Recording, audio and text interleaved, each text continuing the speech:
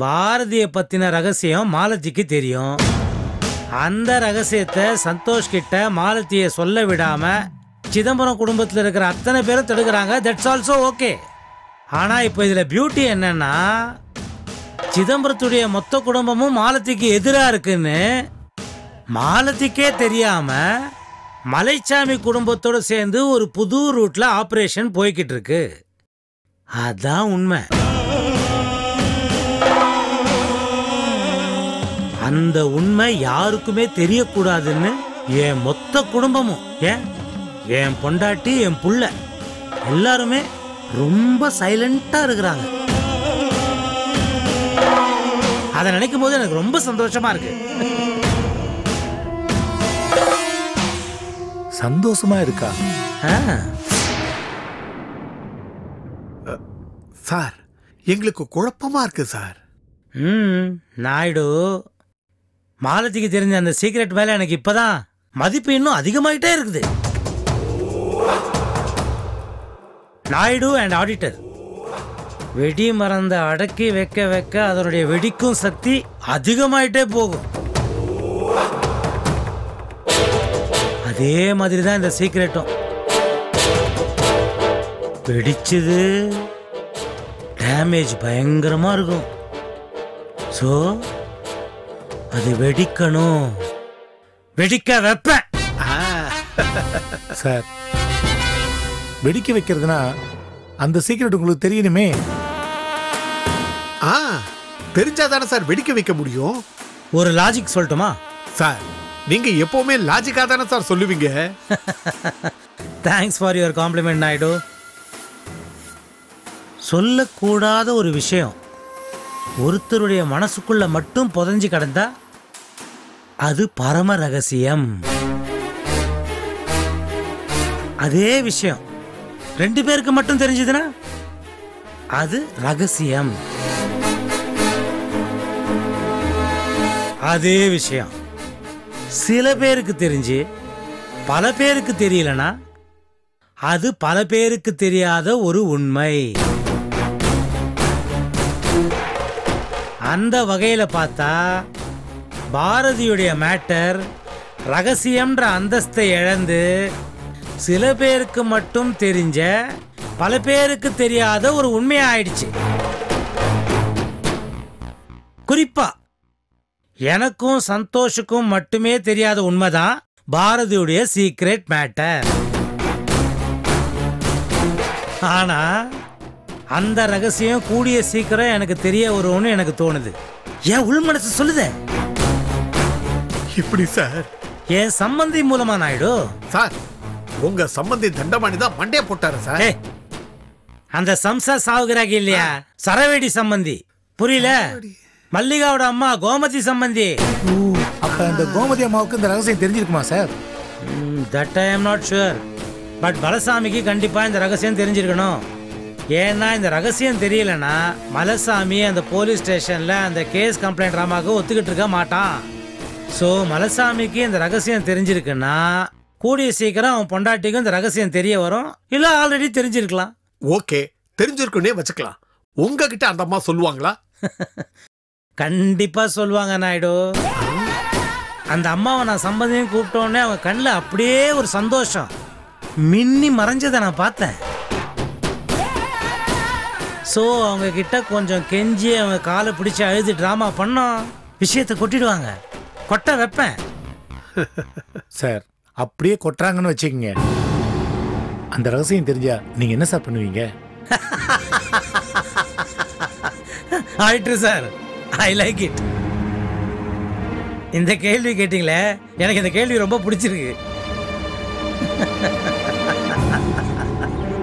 ருத்ராட்சம் பார்த்துருக்கீங்கல்ல? ருத்ராட்சத்துக்கு power இருக்கு. அவ்வளோ power ஆனா அந்த ருத்ராட்சத்தை கோயில் வாசல்ல பிச்சை எடுக்கிறவனும் போட்டிருப்பான். அதே மாதிரி அஞ்சுக்கும் பத்துக்கும் குறி சொல்றவன் கூட அந்த ருத்ராட்சத்தை போட்டிருப்பான்.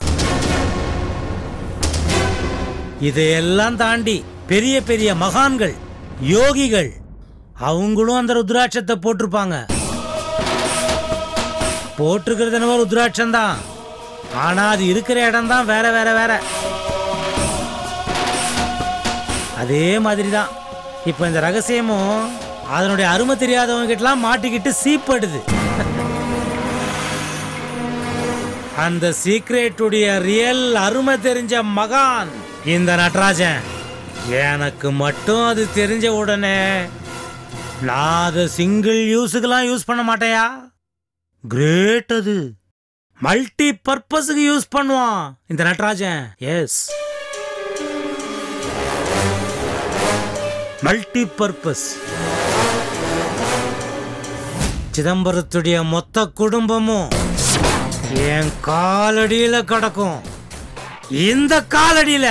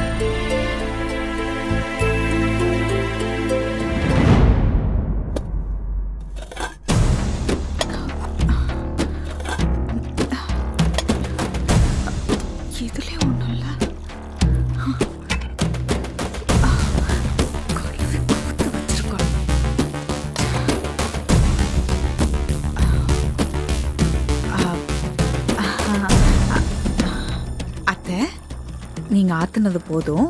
கொடுங்க. ஆமா உனக்காக தான் ரொம்ப கரிசனமா குங்குமப்பூ போட்டு பாலாத்திட்டு இருக்கேன் ஆளப்பாரு இது என் மருமக பாரதிக்கு. நானும் உங்க மருமக தான்.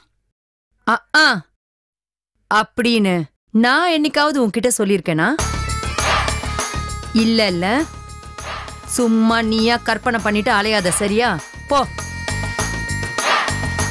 போலீஸ் ஸ்டேஷன்ல இருந்து வந்ததுல இருந்து எதுவுமே சாப்பிடல. பசிக்குது. பால் மட்டுமாவது கொடுங்களேன். ஊட்டி விடவா முடியும்? வேணும்னா போட்டு திங்க வேண்டியதானே என்னமோ என்கிட்ட வந்து கேட்டுட்டு இருக்க இத பாரு சமைச்சு தான் வைக்க முடியும். உருட்டி உருட்டி ஊட்டிலாம் விட முடியாது. சரியா? உங்களுக்கு இறக்கமே இல்லையா? பால் காய்ச்சி வச்சிருக்கேன். வேணும்னா எடுத்து குடி. சும்மா சோகமா பேசி நடிக்காத. எரிச்சலா இருக்கு. ராஜேஷ் மேல இருக்கிற ஆசையில தான் அவரை கல்யாணம் பண்ணிட்டு வந்தேன். ஆனா அதை ஏன் புரிஞ்சுக்க மாட்டேங்கிறீங்க?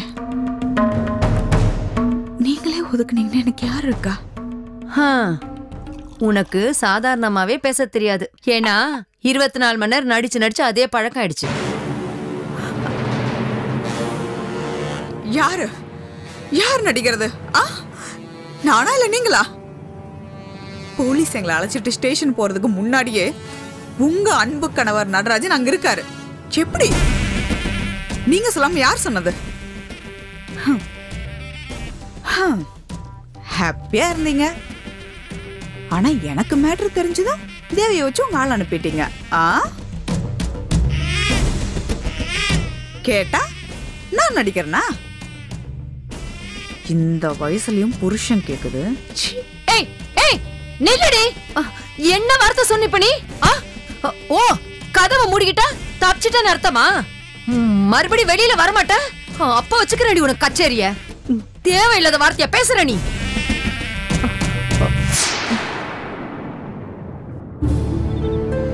இந்த வெப்சைட்டில் தான் ஹெல்த்தி டயட் பற்றிலாம் இருக்கு. இந்த டயட்டை கரெக்டாக ஃபாலோ பாரதி செல்லம் பாலை நல்லா ஆத்திட்டேன். கொஞ்சம் சீக்கிரம் குடிச்சிரு. ஆ அப்புறம் ரொம்ப நேரம் இங்க உட்கார்ந்துட்டு இருக்காத பனியில உட்கார்ந்துட்டு இருந்தா உடம்புக்கு ஏதாவது வந்துரும். சரியா? ஏன் பாரதி? அந்த நடராஜன் போலீஸ் ஸ்டேஷனுக்கு வந்தானா? ம் வந்தாரத்த வந்தானா? இந்த வீட்ல எது நடந்தாலும் உடனே அவனுக்கு தெரிஞ்சிடுது. எப்படிதான் தெரியுமோன்னு தெரியல. என்ன நடக்குதோ?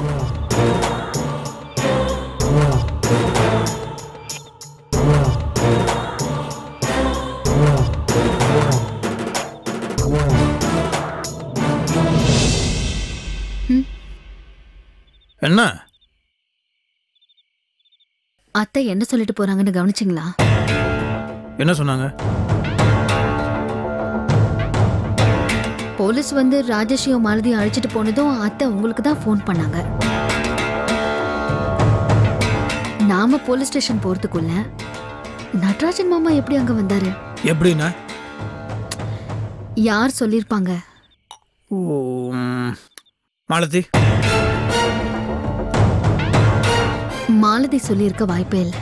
இப்ப அவங்க ரெண்டு பேருக்கும் டேர்ம் சரியில்லை. வேற யாரோ தான் சொல்லியிருக்காங்க.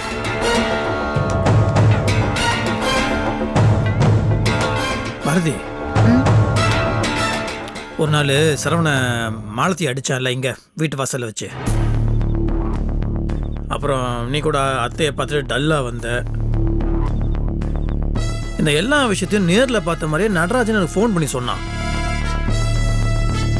நான் கூட கிட்ட உனக்கு எப்பறம் இதெல்லாம் தெரியும்னு? எனக்கு எப்படியோ தெரியும் அப்படி இப்படின்னு சொல்லி மழுப்பிட்டான்.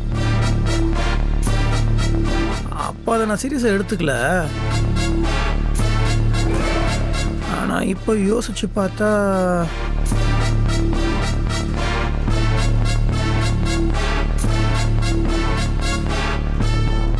இங்க நடக்கிற எல்லாத்தையும் நடராஜனுக்கு யாரோ சொல்றாங்க. யாரா இருக்கும்?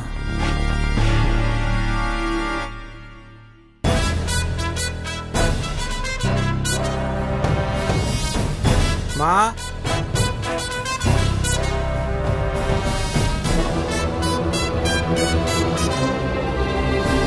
என்ன செக்யூரிட்டி? தண்ணி வேணுமா ஆ ஒரு நிமிஷம் இருங்க. ஆ சரி.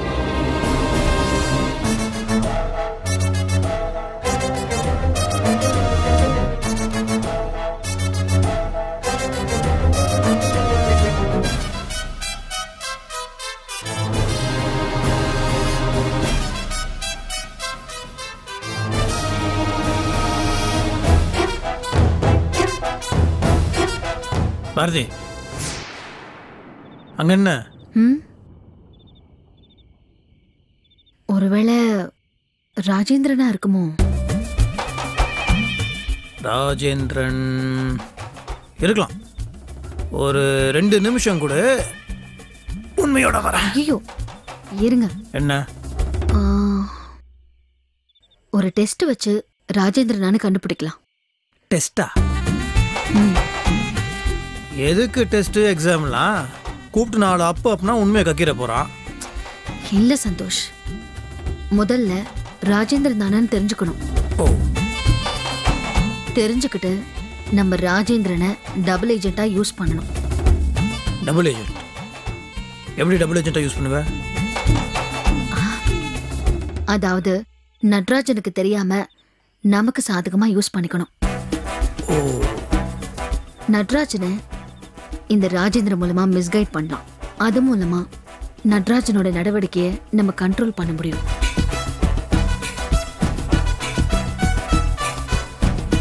ஈஸியா அவரே நம்ம கண்ட்ரோலுக்கு வந்துருவாரு. ராஜேந்திரன் நட்ராஜனுக்கு தகவல் சொல்றது நமக்கு தெரியாத மாதிரியே இருக்கட்டும்.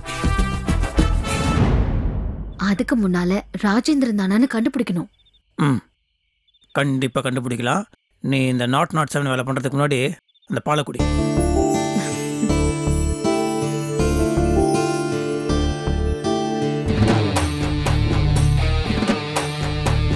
இந்தாங்க. தேங்க்ஸ் மேம்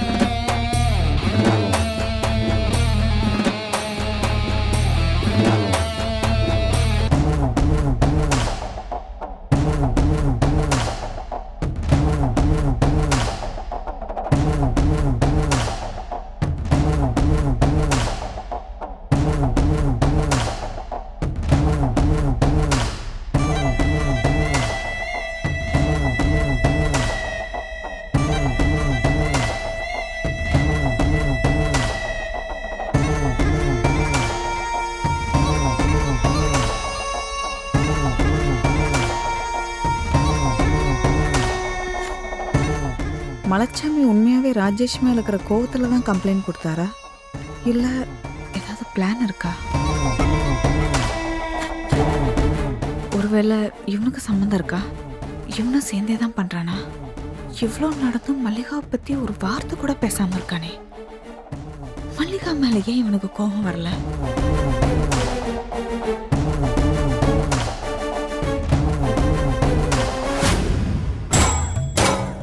ஆஹா. இந்த பீடை ஏதோ பயங்கரமாக யோசிக்குது. ம் ஏதாவது சொல்லி சமாளிப்போம். நைட்டு வந்தாலே பயமாக இருக்கு.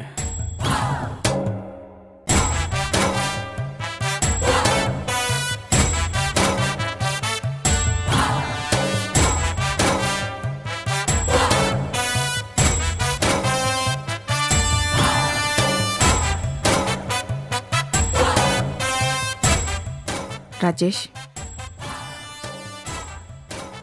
உங்களுக்கு மல்லிகா மேல கோபமே வரலையா?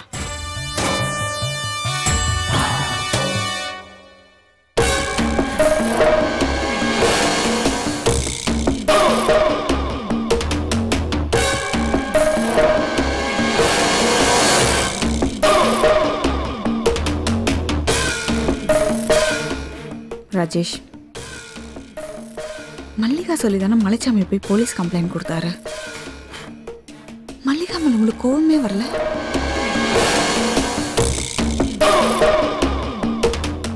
என்ன பண்றான் இந்த ஓட்ட மொபைலை வச்சுக்கிட்டு? இஷ்டம் தடைக்கிற மாதிரி தொடச்சிட்டு இருக்கான் ம் இங்க பாரு. இந்த மொபைலு கொஞ்ச நாள் சரியில்லாம தான் இருந்துச்சு. அதுக்காக ஓட்ட மொபைல்னு சொல்ல முடியாது. ஏன்னா இது ராசியான மொபைல். ம். நான் மொபைல் பத்தி ஒண்ணுமே சொல்லலையே. ஆ இப்போதானே சொன்னேன். ஐயோ இல்ல. மல்லிகா சொல்லி தானே மலைச்சாமி எங்கள் போலீஸ் கம்ப்ளைண்ட் கொடுத்தாரு. மல்லிகா மேல கோவம் வரலையான்னு தான் கேட்டேன். மனசுக்குள்ள நினைக்கிறதுல எனக்கு கேட்காது. மொபைலை பற்றி நீ வாய் திறந்து சொன்ன கேட்டுச்சு. என்ன? மாத்தி சொல்றான். நான் மாத்தி சொல்றேனா? அவன் மாத்தி சொல்றானா? மனசுல நினைக்கிறத நினைச்சிட்டு தெரியாம சொல்லிட்டேனா? இல்ல பேசுறதா நினைச்சு மனசுக்குள்ளேயே நினைச்சிட்டேனா? யோசிக்கிறா. போட்டு பார்ப்போம் ஒர்க் அவுட் ஆனால் கன்ஃபியூஸ் பண்ணி எஸ்கேப் ஆயிடலாம். அஹ், மாலதி? ஏன் மாலதி? ஏன் இப்படி பேசுற? அஹ், நீ சத்தமா வெளியில பேசுறத மனசுல நினைக்கிறனோ மனசுல நினைக்கிறத வெளியில சத்தமா பேசுறேன்னு நான் அப்படி சொல்றதுக்கு பைத்தியமா என்ன? அப்போ இப்ப நான் பேசுனதும் கேட்டுருச்சா? கேட்காம நான் எப்படி சொல்ல முடியும்? ஐயோ என்னாச்சு எனக்கு? ஏதோ சரியில்லை.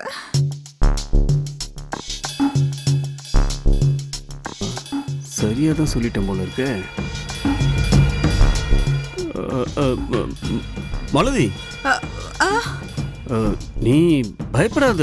உனக்கு ஒன்றும் ஆகாது. இப்ப நான் மனசுல நினைச்சதும் கேட்டுருச்சோ? மாலதி? நீ மனசுல நினைச்சுக்கிட்டு சத்தமா பேசுற. பேசுறேன்னு நினைச்சுக்கிட்டு உனக்குள்ள யோசிக்கிற. என்னாச்சு உனக்கு? ஐயோ இவன் நிஜமா சொல்றானா? இல்ல கன்ஃபியூஸ் பண்றானா